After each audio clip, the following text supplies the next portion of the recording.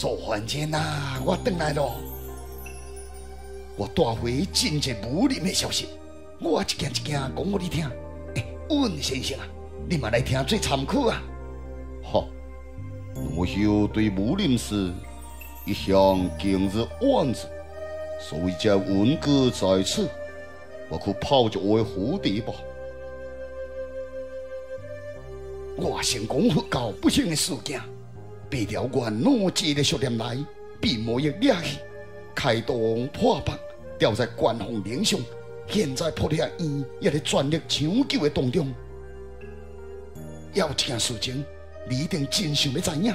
叶小天为着你独传这魔殿啊！这个叶小天真正是明知山有虎，偏向虎山行。结果人失踪了，生死不明啊！啉一杯茶解渴吧，圣人。多谢。苏焕真，你也以愿斗阵拼命吧。苏焕真啊，拜托你赶紧好起来！你敢知你手提拔起来三教圣子，现在变成亡国之君，撇得王朝一时之间瓦解。非凡公主变成终极所向，这天天现在查是不得连回机会。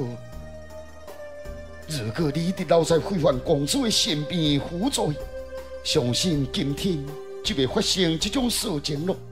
苏焕真啊，你的心血、你的努力拢白费了，撇得王朝的气路，真正应了迄句话：成也萧何，败也萧何。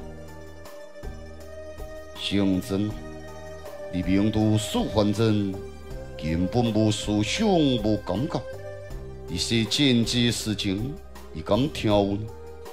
这人事物拢是平常最关心。我讲回听，只是想要刺激，看是毋是当伊有所反应、有所记忆。素还真何时失去魂魄的人？恐怕入不会江湖了。对了。温先生啊，你是一个包学之术，唔知你是唔是捌学过，也是看过神龙六力功？现在就这部功夫可以抵入所幻境。神龙六力功听起来好似是一种的武功，也可以抵入这种期待失神的精通。奴秀不但看过，也不善听过，为着所幻境，非要找到魔鬼之路不可啊！就魔魁之路，叫学这种琉璃功。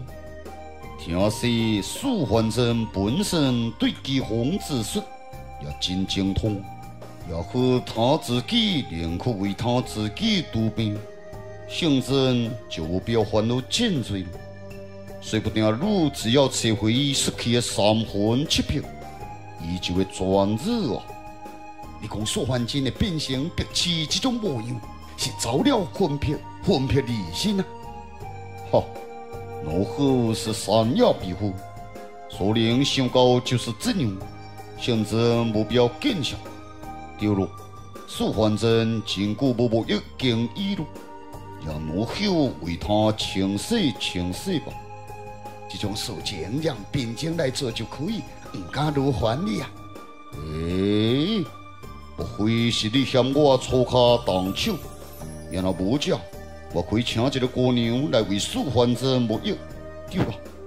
按摩对身体健康真有帮助，信真如别反对吧？你叫一个姑娘啊来为素患者洗身躯、减热灵，哎呦，这都变成马杀鸡了，这唔好啦，唔好啦！